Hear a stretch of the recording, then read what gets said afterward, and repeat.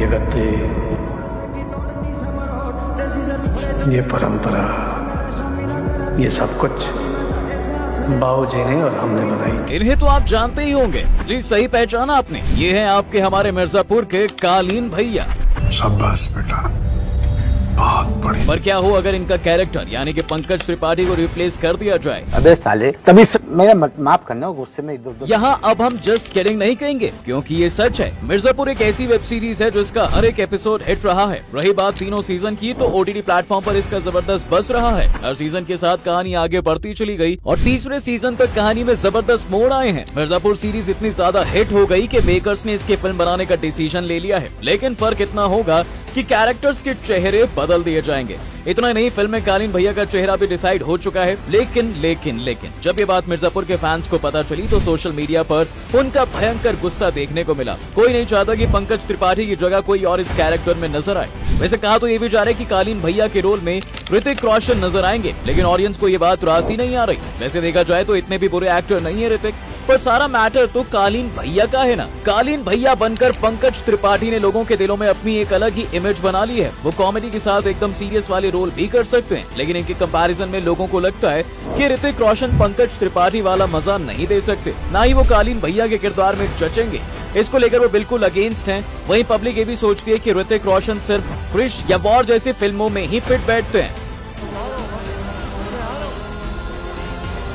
वहीं पंकज त्रिपाठी और ऋतिक रोशन में एक और फ़र्क ये नज़र आता है कि ऋतिक रोशन काफ़ी मॉडर्न टाइप के हैं। वहीं कालीन भैया थोड़े देसी अंदाज के हैं, जिसे शायद सिर्फ़ पंकज त्रिपाठी कर सकते हैं। उनका बोलने का अंदाज, उनके चलने का ढंग, उनके ओढ़ने, पहनने का ढंग, सब कुछ पंकज त्रिपाठी पर ही जचता है। इवन अगर कभी दोस्तों में मिर्जापुर की बात छिड़ जाए और ज़िक्र हो जाए कालीन भैया का तो दिमाग में पंकज त्रिपाठी ही सबसे पहले आते हैं। तो भला कोई कैसे ऋतिक रोशन को उनकी जगह लेने दे सकता है?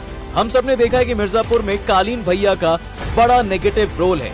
लेकिन ऑडियंस की नज़रिए से देखेंगे तो उनके लिए तो अच्छा ही है। वहीं अगर पंकज त्रिपाठी की बात करें तो वो खुद में ही एक वर्सटाइल एक्टर हैं। वो चाहे तो इस कैरेक्टर के लिए मना भी कर सकते थे, या फिर कोई दूसरा कैरेक्टर भी चूज़ कर सकते थे। फिर ऐसा कालीन भैया में उन्हें क्या नज़र आया कि उन्होंने इसी कैरेक्टर को करने की ठान ली? दरअसल एक इंटरव्यू के दौरान पंकज त्रिपाठी ने बताया था कि बेशक कालीन भैया वेब सीरीज़ में एक बुरे आदमी हो, लेकिन कहीं ना कहीं तो उसमें अच्छाई होगी। कहीं ना कहीं तो ये किसी फ़ेज़ में वो आदमी अपनी अच्छाई का इस्तेमाल करेगा ही।